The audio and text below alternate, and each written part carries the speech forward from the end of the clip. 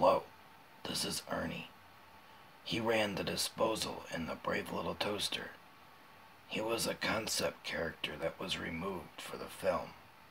He would have been voiced by Dom DeLuise.